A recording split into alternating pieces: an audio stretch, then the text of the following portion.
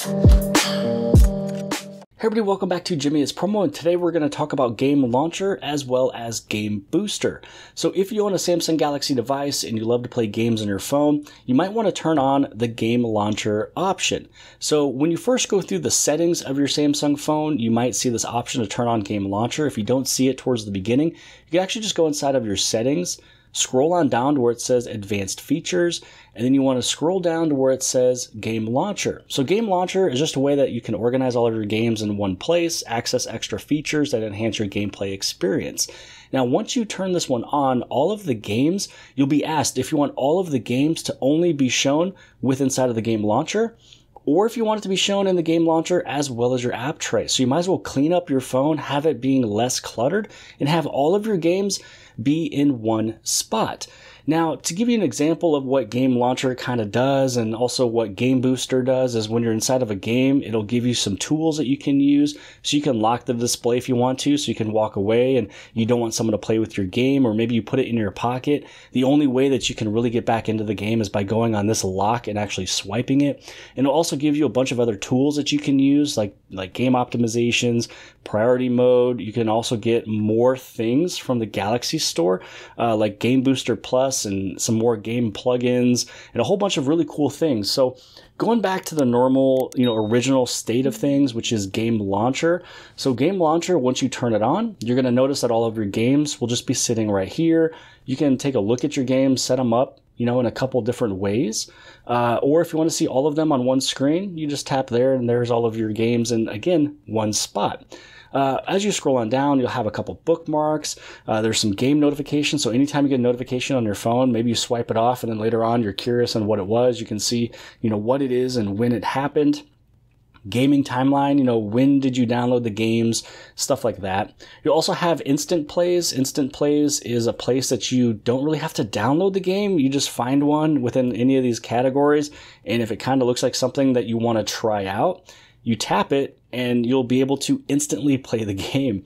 Uh, there's also some popular categories if you wanted to go through those. Uh, and then more. Now, underneath more, you have a few options. So you have your Galaxy ranking. So this is looking at the Galaxy Store the gaming categories, um, which ones, you know, underneath each category are the ones that are most popular, the most played, the most downloaded. So you can actually go through these if you want to discover more games. Here's some of the trending immersive games. If you tap that, you can find more and then you can actually download them and then they'll show up inside of your uh, game launcher. Events, it's really no big deal. I think it's more just spammy, promotional, sponsored um, type stuff that I'd never really look at. Here's Game Booster. Game Booster is a bunch of settings that you can use as you're playing games. So you can actually block during game. So let's say that you open up a game, you can block notifications coming through. You can block your navigation gestures. So with me, I have the navigation gestures turned on. So if I swipe back, it's going to take me back. But maybe in the game, I need to kind of do that closer to the edge of the, the, the screen. So this will just make it to where I have to do it, uh, swipe twice quickly to use my actual navigations. You can actually turn off your auto brightness, turn off the Bixby, and turn off Edge Panel. You can see Edge Panel is right here, so maybe that could be in the way of your game, so you can get rid of that if you want to. Then next up is the Auto Touch Protection, and what Auto Touch Protection is, is it kind of puts the phone in this little lock screen.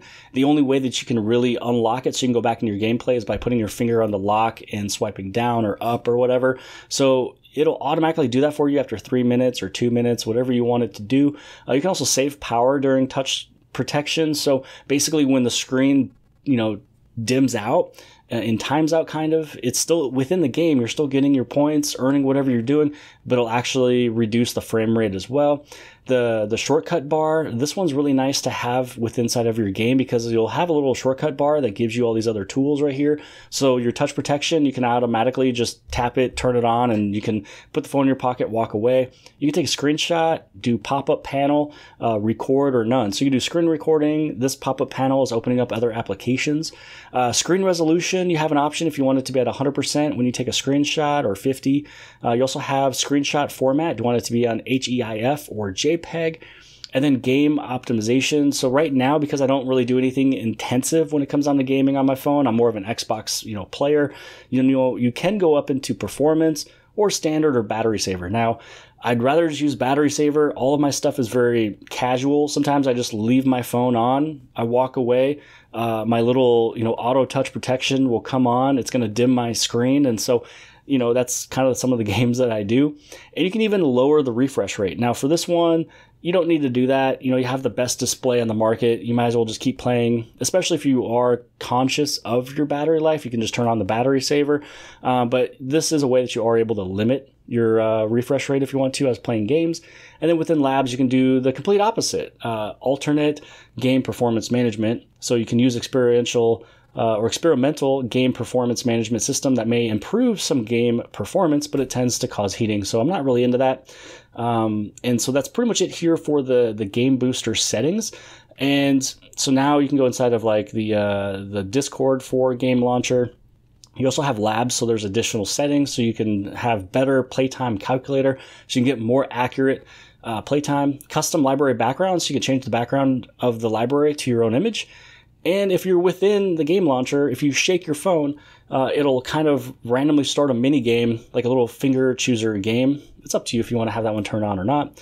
Uh, notices and then settings, and settings doesn't have too much. Uh, it's got themes, so if you want it to be dark, light mode, or match the phone settings. Uh, show game apps. So all the games that you have, do you want them all to only be shown in the game launcher, which I would suggest, or you can have it everywhere, your home screen, app screen, and game launcher itself. But you might as well keep your phone clean, put it inside that game launcher. Uh, you also have autoplay videos using mobile data, hide playtime in games. So if you there's a particular game that you play a lot of and you don't want people to see all of the hours, you can actually hide it. Uh, and then there's a few other things. You can even erase all of your personal data when it comes down to the game launcher, like how much time you've put into these games, things like that. On the very top, if I was to tap this image, uh, it's going to give you a bunch of details about your gamer profile. So your name, the time played. You can see I put in a lot of hours on Zen Idle. A lot of times I just left it open uh, in that dark screen overnight, even sometimes, or for just hours on end. It's going to show you your favorite categories. So there's a lot of stuff you can do. There's 28 games, playtime. Mostly, you know, these are the ones that I play. Again, very, very casual. So there's your gamer profile. So how about we go back into a game? Let me show you uh, some of these things that we're talking about from before. So this right here is going to be that little bar that we talk about, the little shortcut. This is where, if I wanted to, I can automatically go inside of that touch protection.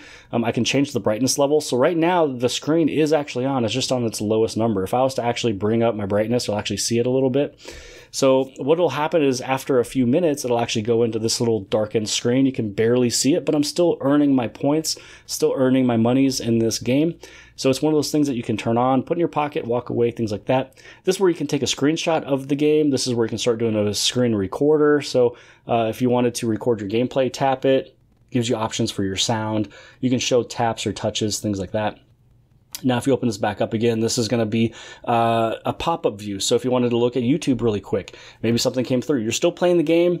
You're not disrupting the game. It's just a pop-up. So maybe if somebody sends you a text message, again, you can just open up text messages. You can respond back.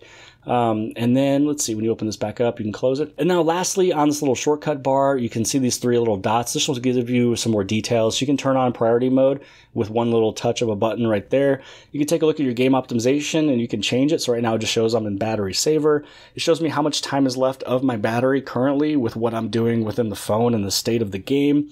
You also have memory. Is it good, bad? Temperature? Is it good, hot, cold, whatever? So this will give you your, your details. This is where you can go inside of Discord this is where you can download more plugins to give you more things, you know, very similar to what you're seeing here when it comes down to this, uh, you know, Game Booster. And then you also have settings for Game Booster, which we already took a look at the settings for Game Booster.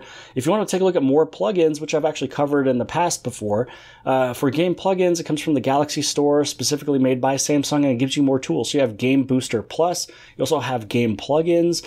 Uh, so you can do like daily limits. You can bring your performance higher, game booster plus, network boost. I mean, there's a lot of things. You know, if you want to, uh, you know, turn on, turn off, show CPU, GPU, show temperature, show frame rate.